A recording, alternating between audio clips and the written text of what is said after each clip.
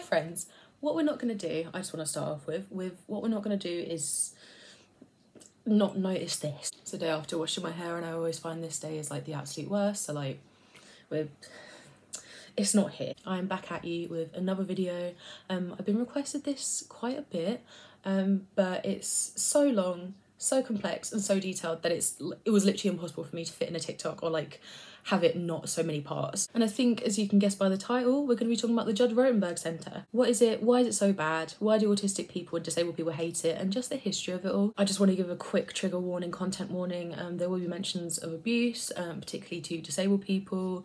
Um, I can't really think of much else, but it is like quite a heavy topic. So if you don't like that kind of stuff, then please stop watching. So the Judge Rotenberg Centre has been the face of many controversies since its opening in 1971. This is when it was originally named the Behaviour Research Institute. The centre was set up as a school for those with developmental disabilities, emotional disorders and autistic-like behaviours. Its founder Matthew Israel opened the first centre in Rhode Island. By 1976 it expanded to two other branches in Massachusetts and California. However, when Israel opened the California branch, he didn't have a licence to operate a group residential home, nor did he have the licence to practice psychology in the state of California, nor did he have the licence to use a aversives, which are basically unpleasant stimuli that forces a change in behaviour through positive reinforcement and negative reinforcement. So basically, in psychology terms, it's basically operant conditioning. He tried to apply for a licence, but the state's Department of Health rejected this. This was due to the unnecessary use of painful aversives. There was also lack of evidence to show that Israel was reputable and responsible. After this, the centre was scheduled to shut down. The day after the scheduled shutdown, however, it got reopened as a co-op, and again applied for a licence to operate as a group home and also to use aversives. Through the help of the California governor at the time, time, Pat Brown, who, by the way, the law firm was actually hired to represent the centre. The centre received the licence, as well as the only ever permit granted by the state of California to use aversives in a group home. The centre was also awarded $35,000 a year per child by the state. This is the highest rate of any community facility within California. However, after the death of a resident in 1981, the state launched an investigation. This investigation showed various types of abuse, including physical and psychological. Residents were beaten, restrained, humiliated, and not adequately cared for in general. Due to this, the institute was banned from using physical aversives. They're also banned from using restraints and withholding meals as a punishment. Israel was also banned from entering the facility. The institute wasn't doing well in Rhode Island or Massachusetts either. As early as 1979, New York state authorities published two reports where many signs of physical and psychological abuse were present. Alongside this, in 1993, a department of the Massachusetts government, I don't want to say the name of it, um, I think you can kind of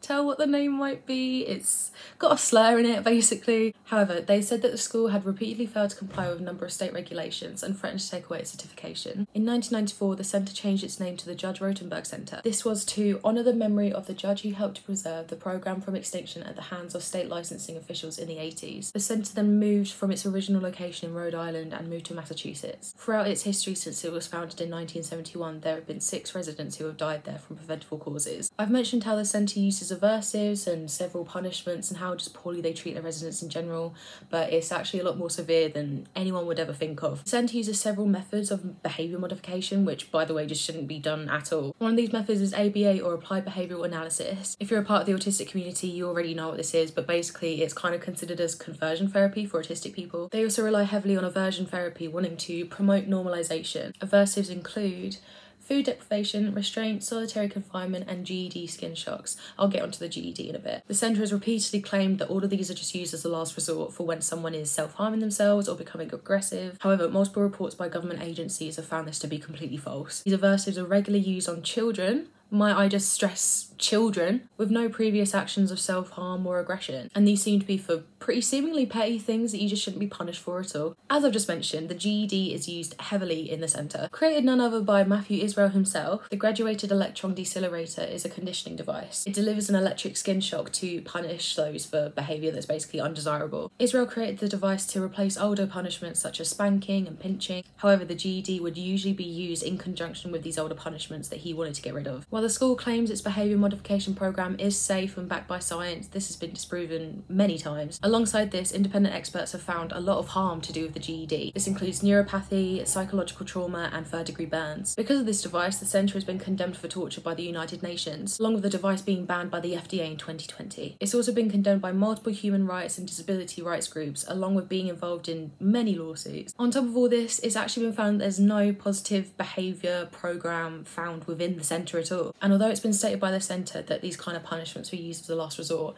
it was used regularly, including for but not limited to failing to be neat, wrapping one's foot around the leg of a chair, stopping work for more than 10 seconds, closing one's eyes for more than 5 seconds, minor acts of non compliance, using the toilet without permission, and also for urinating on oneself after being refused to go to the toilet, screaming whilst being shocked, and attempting to remove the device. An investigation by the FDA also found that parents and guardians were pressured into giving consent for the GED to be used on their children, while also withholding accurate information about how actually harmful this device is. Greg Miller, a former teaching assistant at the centre, reported that staff were expected to administer these shocks without any kind of concern for any harm caused. Staff were also monitored by cameras and were also threatened their jobs if they refused to administer these shocks. Residents were made to wear their GEDs at all times, including in their sleep and in the shower. Residents even reported that they were being woken up in the night due to being shocked for reasons such as wetting the bed, tensing up while asleep, or breaking a rule earlier that day. They would also be shocked during the day if they failed to stay awake. One resident reported that they actually developed extreme insomnia due to the fear of being shocked in their sleep. Alongside the other programs the centre uses, the withholding of food is very popular and very common. Food would be given to residents as a reward for good behaviour. The centre would also give residents goals throughout the day, and if they didn't complete these goals, then excess food would be wasted. If a resident didn't meet their minimum calorie intake, then they would be punished. They'd give them undesirable food, such as food that's been mashed up and sprinkled with liver powder, which is basically used for fish bait. Another common punishment was through sensory deprivation, which for autistic people, if you don't know, just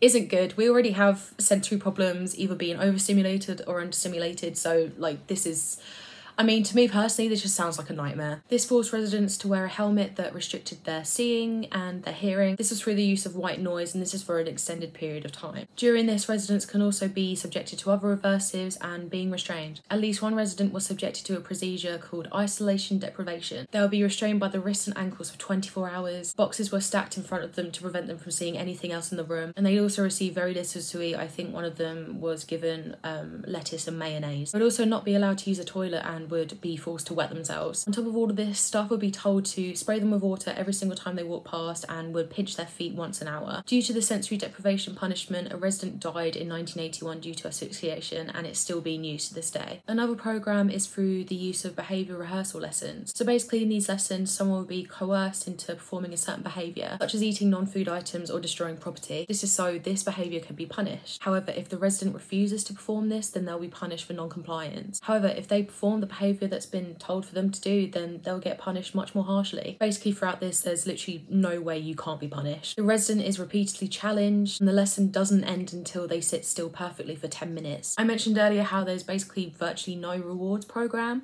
There is, but it's kind of let's say scraping the barrel very very much because the things considered rewards at this centre include verbal praise the opportunity to look out of a window and food. Another reward that the resident may win is an opportunity to visit the big reward store. It's contained a pool table, arcade games, and it was the only place in the centre where the residents could socialise freely. I won't go too much into the deaths that have occurred here because I don't want YouTube to do a silly and take my video down. Also, I think I've already gone into too much. I think I might be like walking on thin ice here, sorry YouTube. However, usually the cause of death would be through aversives, however the centre would try and cover this up. One of these deaths, they reported that they died from natural causes, which I don't really see how that makes sense. I think just to put um, into perspective how truly horrible it is, um, one of the residents who died there was 19 years old when she died. At the time of her death, she'd been a resident at the Institute for seven years and had been subjected to 88,719 aversives. I don't know about you, and I can only hope that you agree with me, but there is no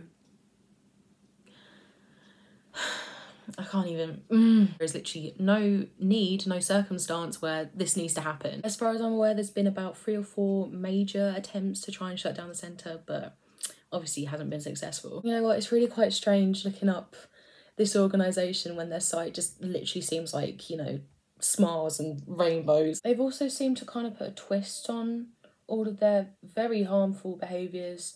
Um, they do seem to brag about the 24 7 digital recording that they have, a monitoring system to add a layer of safety and security, when really, you know, we all deserve the right to a bit of privacy. Also, really funny how they talk about having qualified and skilled staff when its founder was never actually qualified in the first place. It's also really interesting, they've got a tab on their behavioural treatment. There's been I mean, obviously, there's got to be no mention of the GED, but absolutely no mention of it whatsoever, along with minimizing or eliminating restraints, which obviously, as we all know, isn't true. I think if you ever want to see how jaded an organization or group of people are, I think the Judge Rotenberg Centre site is just an amazing read. So why do autistic people not like the centre very much? I mean, hopefully through, you know, what I've said about the centre already, about their shocks, their aversives, everything like that, that's already enough to put you off. However, I mentioned previously before that they also use ABA. ABA generally is not very liked within the autism community. It's another part of their behaviour modification programme. Basically, ABA forces you to change behaviours. And you know, this therapy would be all well and good if it just wasn't being used on autistic people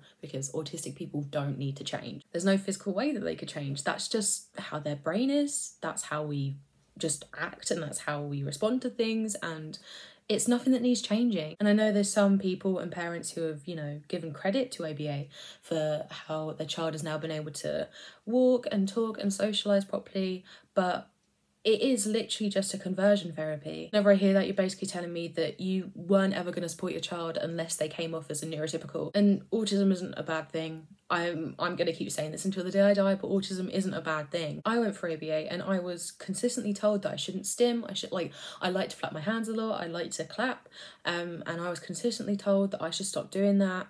Um, and I still kind of have that reinforcement in my head to this day. Like, if I stim in public, then I tell myself to stop, otherwise, like, I won't get rewarded or stuff like that. So, even after how many years later, it's still ingrained into me that my behaviors are wrong and I can't I can't help that. It's just who I am. And it's it's not something that needs to be punished. I will literally fight this corner Till the day I die, the ABA is just completely unnecessary. Alongside this, none other than Autism Speaks have partnered with the centre. If you don't already know about Autism Speaks, they are kind of portrayed as an autism rights group, but they're just an autism hate group, consistently wanted to find a cure for autism and have consistently stigmatized and negatively portrayed autism. Where the partnership begins is through Autism Speak's own event called Walk Now for Autism. One of the service providers at this event is the Judge Rotenberg Centre. So basically, Autism Speaks are advertising a centre that advocates for the torture of autistic and disabled people. And this is on an extremely regular basis, multiple times a day this happens. And Autism Speaks probably being the most popular and well known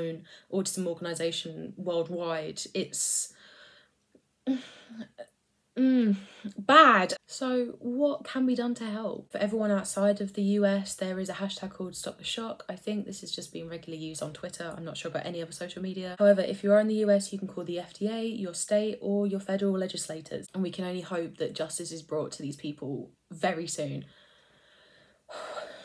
that was a heavy one. Oh my gosh. Hopefully you guys are okay after watching this too because I know that I am not okay. but if you like this kind of stuff then let me know because I'd really like to focus more on the history of kind of bad organisations and charities, um, just like the history on stuff in general. It's obviously relevant to the autism community. Hopefully the next video will be a bit more light-hearted but this centre needs to be brought to public attention because it is just so horrible. Also, if you want to look up the centre yourself because I don't know how, I don't know how long this is going to be after I edit it, but I've already been speaking for about 50 minutes and there's actually so much more that I just haven't included in this. So if I can't even fit everything bad about it in the time that I've been recording, then it's gotta be horrible. But I'm gonna leave it at that. Stay safe, stay healthy, take care of yourselves. Um, I'm gonna learn how to do an outro one day, but today is not that day. So um, I'll see you later.